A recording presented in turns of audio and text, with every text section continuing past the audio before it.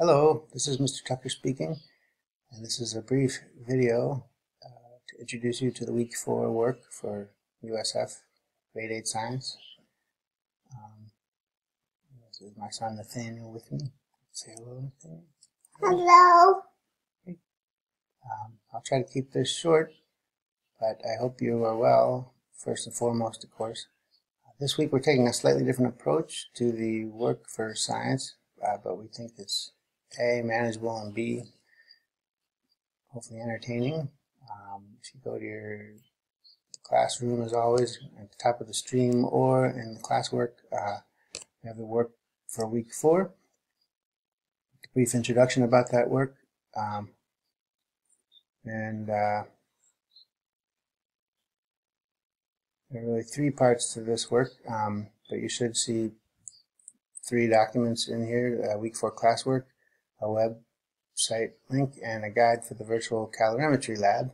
So I'll click on the classwork and um, there are three components to this week's classwork. The first one is to complete the virtual calorimetry lab. Um, you can access the lab by either clicking on this link here in the Google Doc or the link in the classroom. When you go to the lab, you'll see a list of virtual biology labs. If you want to go to the first one, which is calorimetry, and what is calorimetry? It's the uh, science of oops, that's not so good. Do you know how many calories are delayed, and I was impatient. You probably um, the science of energy and food, and um, we're tying this to the on all packaged this lab, this virtual lab, to the information you've been learning about energy and food.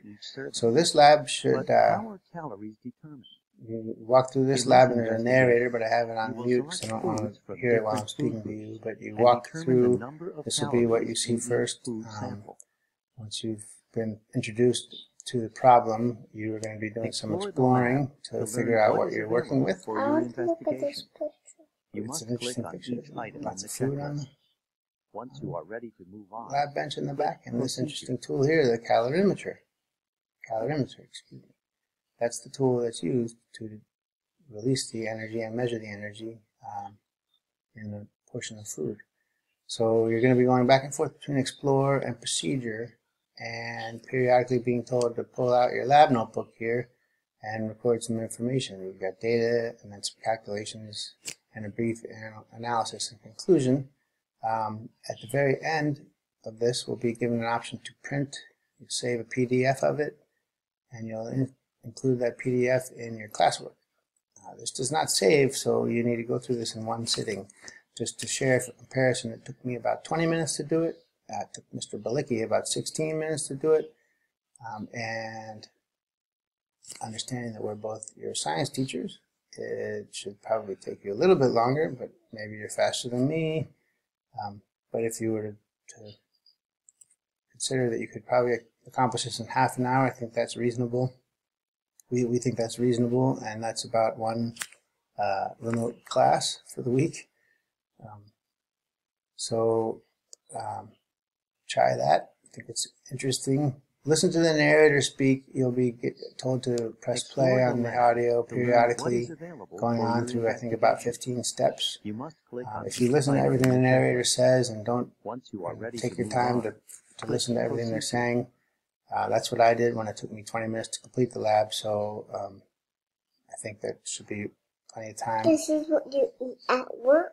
Banana and uh, those are just cartoons, Nathaniel, of, of sample pieces of food. It's just I could do the sometimes I do eat that at work though. Banana, broccoli, carrots.